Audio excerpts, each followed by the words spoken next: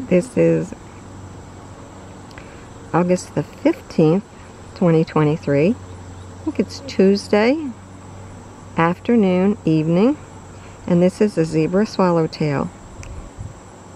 He's in my south central Pennsylvania garden in the front yard and makes my day for seeing him. Him, her, I can't tell if it's a male or a female, but anyway, I am glad to see this butterfly at the butterfly bush.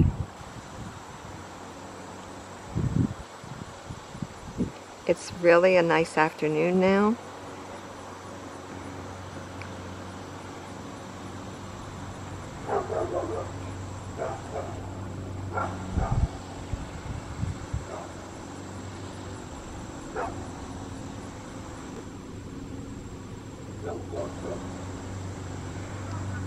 There's no pawpaw tree here, which is their host plant, but somewhere in the neighborhood there must be a pawpaw tree or pawpaw shrub.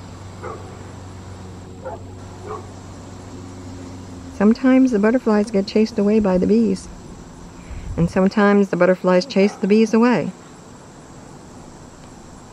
Survival of the fittest.